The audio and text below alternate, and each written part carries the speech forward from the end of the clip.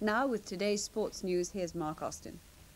The Manchester United manager Ron Atkinson spent the morning denying that Mark Hughes is about to join the Spanish club Barcelona and the afternoon watching his striker help United to a 3-1 win at Oxford. The victory keeps his side five points clear at the top of the First Division.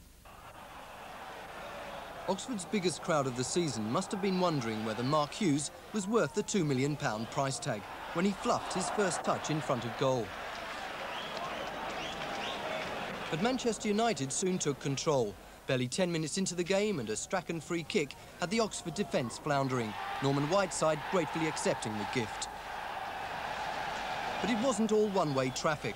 Oxford shrugged off the effects of their marathon midweek cup tie against Tottenham to cause a few scares in the Man United goalmouth.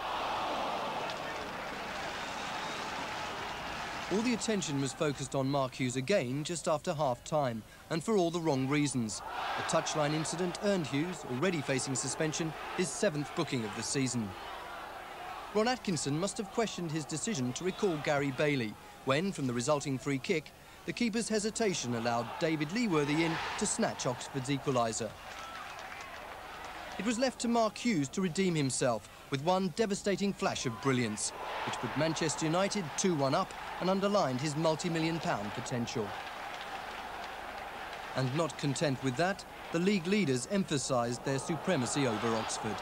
Frank Stapleton's pace had the home defence struggling, and his cross was perfectly timed. Colin Gibson making it three goals and three points for Manchester United.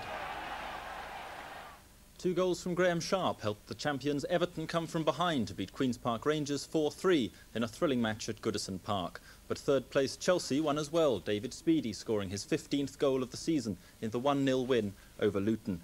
And for Frank McAvennie, it was goal number 20 as West Ham beat Leicester 1-0 at Filbert Street. So with all the leading teams winning, not much change at the top. Liverpool slipped from third to fifth, but they play at Watford tomorrow.